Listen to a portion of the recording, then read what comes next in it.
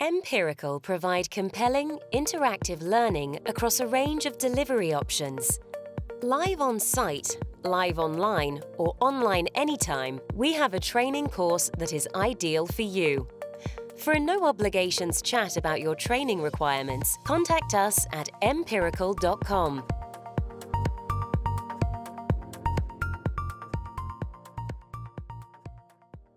In this session, we're going to discuss the LTE frame structure. We're going to start by looking at the downlink frame structure. We'll then have a look at the uplink and then we'll follow on with a view of TDD operation. So when we start looking at the downlink, the first thing we need to think about is the LTE channel itself. So we've got a center frequency here and LTE will be deployed either on a 5, a 10, a 15 or a 20 megahertz channel or possibly something lower. If we just choose the 5 megahertz option, we'll find that that has a certain bandwidth. Now based on the LTE system, what's going to happen is we're going to have a number of subcarriers in there and those subcarriers are going to make resource blocks. So if we looked at a 5 megahertz channel, what we would actually be looking at is 25 resource blocks. So this is the frequency component. And then we go over time. Now the LTE air interface is split into what's called frames and subframes. The subframe lasts a millisecond. So obviously there are 10 subframes within a frame and a frame lasts 10 milliseconds. Now each of these subframes is given a number. So you can see here number 0 to 9 is identifying the subframes. What we now need to think about is the downlink frame structure because that in the uplink and downlink looks the same. What happens then is we allocate the channels to the downlink or the channels to the uplink. If you were to look at the downlink frame, you'll find these strips of control information. This control information is scheduling information for the downlink, scheduling our downlink channels, as well as the uplink scheduling, uplink users effectively.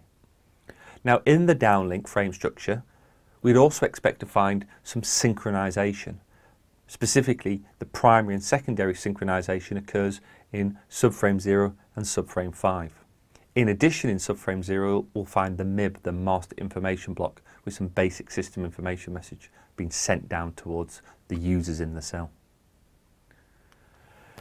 As far as the allocation is concerned, the control channel, the scheduler in the downlink, those brown strips are going to schedule users. So a user might be scheduled some resources within a subframe, and that might be ongoing so that in different subframes they can be allocated resources. A different user can be allocated different resources. As far as the uplink subframe is concerned, it looks very similar, as in you've got a similar 25 resource blocks and you've got the same frame with 10 subframes. However, the allocation process, the scheduling is based on the downlink control, scheduling users in the uplink. And the key thing is when you schedule a user, you'll schedule them some resources, and specifically there, you can see some strips. And these strips actually are to do with something called demodulation reference signals or DRS signals. So these are uplink reference signals. And this is used by the eNodeB so that it can correlate the signals at the base station. Finally, I just want to talk about TDD. TDD, time division duplex. In time division duplex, we only have one frame structure, but we configure the different resources for uplink or downlink based on the time of the subframe. So what you'll find is there are different configurations. So an eNodeB will be configured, for example, with configuration number two. And configuration number two, as you can see, denotes that we have a number of D downlink frames, S special frames, and U uplink frames. So you can see that that particular configuration goes down, a special frame, up, and then there's three more downs, a special frame, up, and two more downs. So the idea is we need a special frame when we go from down to up. And that's to do with something called timing advance and the trying to mitigate interference. If you go from up to down, so one subframe is up and the next one is down, we don't need a special frame. So in this particular instance, we've got downlink frames, two uplink frames, and obviously two special frames. So it's quite asymmetric. There's more going in the down than in the uplink direction. Obviously, the different configurations provide for different configurations of asymmetric allocation. So how this would look, if we looked at the configuration number two, this is called frame type 2, by the way. So frame type 1 is FDD, frame type 2 is really TDD. And in this particular example, I'm using the scenario of configuration number two, where the first subframe zero was a downlink. We then had a special frame. So I really want to talk about what's in these special subframes. In the special subframe, the first thing to spot is there's a guard period in blue there. So that's to do with providing an opportunity where no one's going to obviously overlap.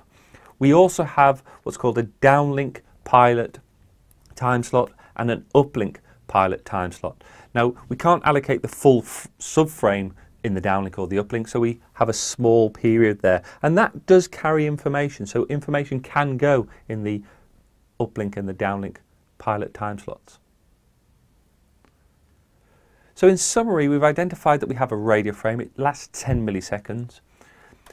The bandwidth, 5 megahertz, 10 megahertz, 15, denotes the amount of resource blocks you're going to have. And the idea is in the downlink frame, we're going to allocate users a number of these resource blocks. We're going to use scheduling, the control scheduling, to schedule downlink as well as uplink resources. There's also synchronization and the master information block that we expect to see in the downlink frame. I will point out there are other detail aspects of the frame that we'll get to in other videos. The uplink frame is slightly different in terms of you, yes, allocate resources to users, but what you'll find is the allocation that you give the user, the user will include what's called demodulation reference signals, allowing it to, or the eNodeB, to lock onto that signal, do the correct estimation of the channel, and obviously decode it.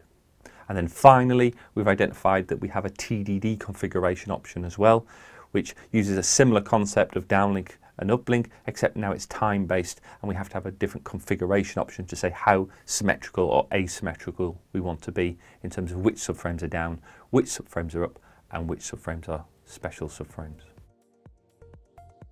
Need to know more? Why not visit our store where you can choose from over 200 hours of video-based training. Alternatively, you can contact us to discuss any specific training requirements you may have.